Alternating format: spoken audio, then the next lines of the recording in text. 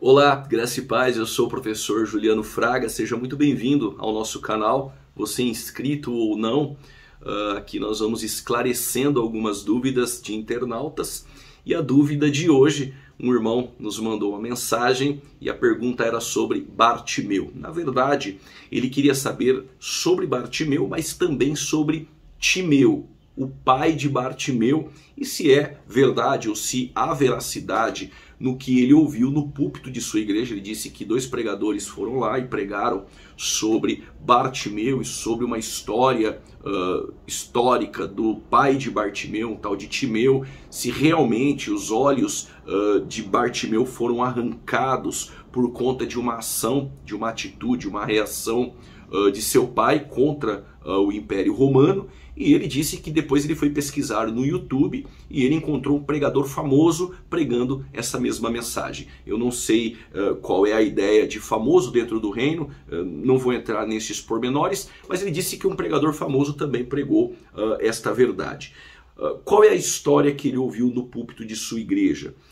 segundo ele, o próprio Timeu, que é pai de Bartimeu, ele era um homem bem sucedido, e após ele se aposentar, ele era um militar, até mesmo um general de um exército das Forças Armadas de Betel, e que após se aposentar, por conta de anos dentro deste trabalho mesmo, ele acabou sendo bem sucedido, ter finanças, enfim.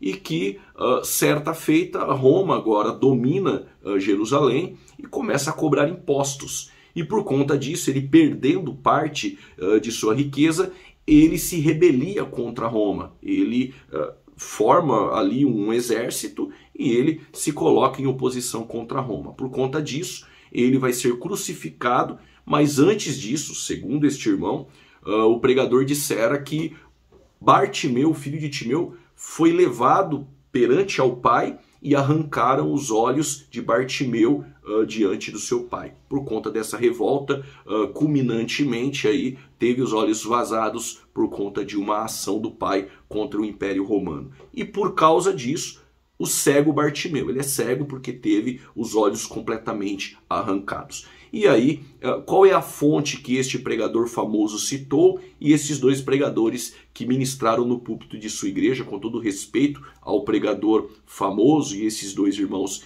uh, que pregaram, eles disseram que a fonte era Flávio Joséfo. E aí veio a pergunta uh, deste irmão. Eu estou aqui com a Bíblia aberta em Mateus, capítulo 20, versículo 29 até o 34 Uh, e na verdade ele quer saber se existe uh, uma hipótese, né? se é hipotética uh, da menção do pai de Bartimeu nos escritos de Flávio Joséfo, se há fundamento essa mensagem, se há veracidade essa mensagem. Primeiro nós devemos procurar evidências internas dentro dos textos bíblicos. Aqui em Mateus capítulo 20, do versículo 29 ao 34, nós não temos essa informação. Quando nós olhamos para Lucas 18, versículo de número uh, 35 ao 43 e Marcos capítulo 10, versículo 46 ao 52, textos paralelos a Mateus que mencionam uh, a ideia do cego, a cura do cego, nós não temos nenhuma informação sobre ele ter tido os olhos completamente arrancados consequência de uma revolta do seu pai Timeu contra o Império Romano, que seu pai foi um general uh, do exército ali nas regiões em Betel. Nós não temos dentro das evidências internas. Uh, quero até aproveitar aqui, você que vai ler Uh, Mateus 20, aqui no versículo 29 ao 34, Lucas capítulo 18, do versículo de número 35 ao 43, e Marcos capítulo 10, versículo 46 ao 52, você vai perceber que aparentemente existe uma contradição. A Bíblia é, não existe nela essa contradição inerrante, infalível, inspirada. E aí nós vamos ter tanto Mateus quanto Marcos citando é, que Jesus saía de Jericó e aí ele encontra um cego. O Mateus vai registrar dois cegos, enquanto Marcos registra um.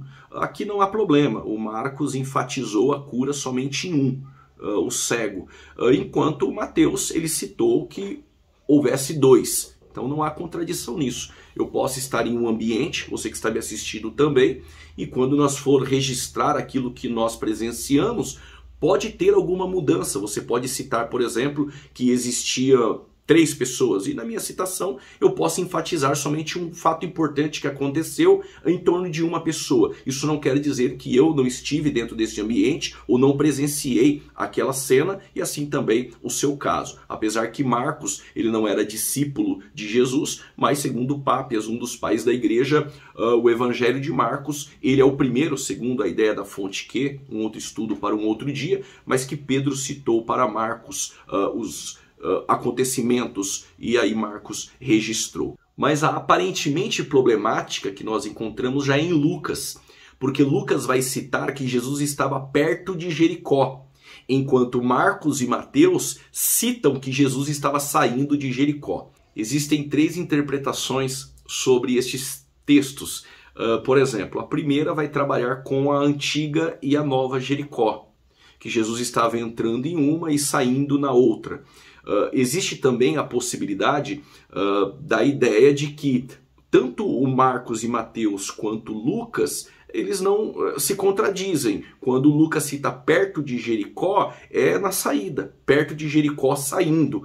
Mas a terceira possibilidade de interpretação, acontecimentos distintos que o cego citado por Lucas não é o mesmo citado por Marcos e Mateus. Bom, mas a pergunta do irmão não é essa. É sobre se realmente de fato existe algum lugar ou na Bíblia ou algum documento, alguma fonte primária que trate essa questão, se realmente há veracidade aí sobre todo esse bojo, esse arcabouço em volta deste texto de Mateus, Marcos e Lucas.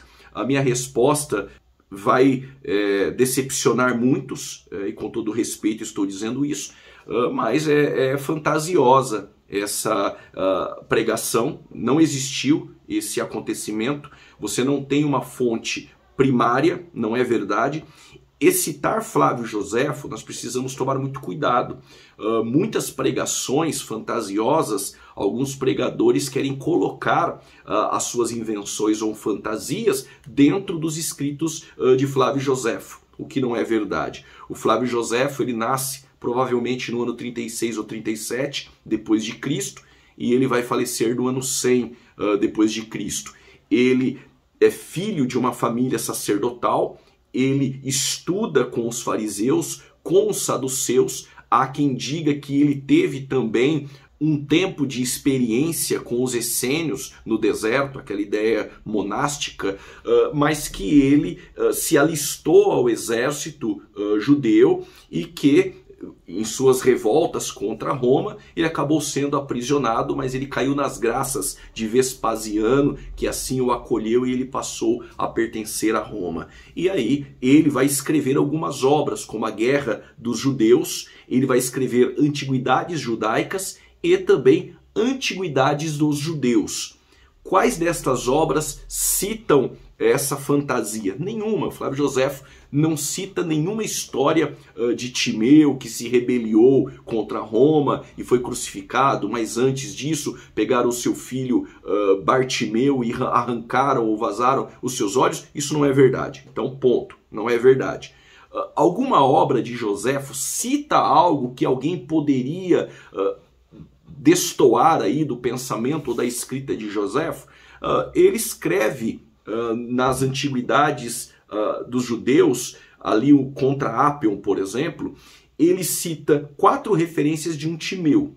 Ele faz quatro citações. Três delas aparece na parte 1 uh, desta obra e uma referência na parte 24. E esse Timeu, ele não tem nada a ver com o pai de Bartimeu ou dessa rebelião, desse acontecimento aí pregado por estes uh, pregadores. Nada tem a ver. Ele é o escritor da região de Alexandria. E quando o Joséfo faz citação de Timeu, com mais outros que ali aparece, é tratando de inverdades que esses historiadores levantaram. Esses escritores aí levantaram. E, ele só cita isso de Timeu, é apenas uma rápida menção, é, não tem nada que possa harmonizar com essa história aí uh, fantasiosa de pregadores. É, eu encontrei essa fonte no Google, por exemplo, alguém pode dizer. É, sim, você pode ter encontrado essa fonte no Google, mas quem colocou uh, esse registro no Google, ele deu a fonte? Não tem fonte. Então não tem fonte primária, não tem nenhum documento e nenhuma evidência interna bíblica para dizer que o Bartimeu teve os olhos arrancados e que o pai dele uh, pertenceu como general ao exército ali de Betel e em uma revolta contra Roma, porque ele estava perdendo os seus bens, um homem bem sucedido, e que nestas rebeliões ele acabou sendo aprisionado, levado a ser crucificado e teve o seu filho, antes da crucificação, uh, diante dele com os olhos arrancados pelo Império Romano. Então, uh, fica aqui com todo respeito a quem pregou sobre isso. E se você pregou, não pregue, porque essa história não é verdade, você não tem nenhum documento e Flávio Joséfo não disse isso. Mais uma vez, citando Flávio Joséfo, mas nas obras de Joséfo uh, não tem nada. Registrado sobre essa fantasia falaciosa aí que foi pregada nos púlpitos e continua sendo pregada. Com certeza, pessoas que já pregaram essa mensagem, que não têm a humildade eh, de reconhecer que não existe essa fonte, vão comentar aqui e tal, mas minha preocupação não é essa. Se caso alguém pregar isso ou disser isso para você, é simples, diga para ele, cadê a fonte? Aonde está registrado? Qual é a página? Se ele citar Flávio Joséfo, diga qual é a obra e qual é a página. Não tem essa página, não tem essa obra e Flávio Joséfo não disse isso. Deus te abençoe. Aqui nós vamos de Bíblia e até a próxima. Faz a sua pergunta aí nos comentários e é sempre um prazer tê-los aqui para juntos crescermos no conhecimento e na graça. Até a próxima. Deus abençoe.